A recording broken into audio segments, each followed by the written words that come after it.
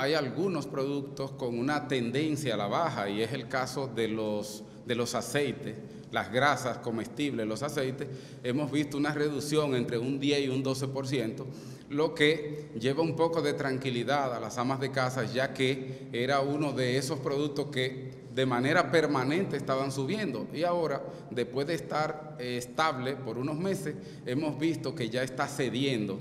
y, vemos que ese comportamiento es interesante porque se trata precisamente que además de las grasas, otros productos como las galletas, los enlatados, también han ido descendiendo paulatinamente debido, entre otros casos,